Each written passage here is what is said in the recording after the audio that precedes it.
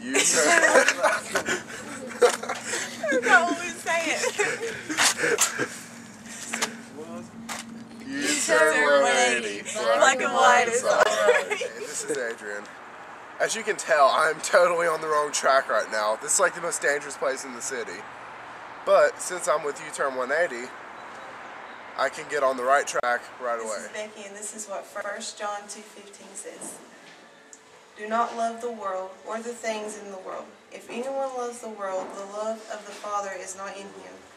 For all that is in the world, the lust of the flesh and the lust of the eyes and the pride of his of life is not the Father, but is of the world.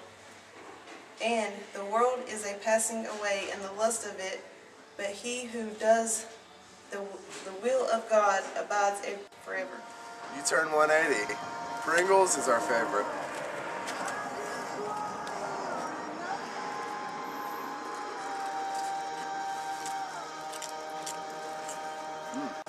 Hey, this is Mike Stroud with YouTurn180.com.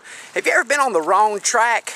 You know, so many times in our lives we are. You know, I've been down the wrong road so many times and drugs and alcohol and all those things. And so many times people are trying to make the right connection in their life. Well, here at YouTurn 180, you can have a change. God can change your life. There's hope for you.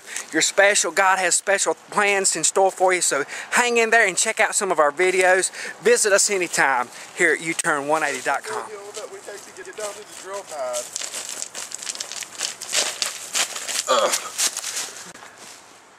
Hey, this is Adrian. I want you guys to see what John 3.16 is about. For God so loved the world that he gave his only begotten Son, that whoever believes in him should not perish, but have an everlasting life.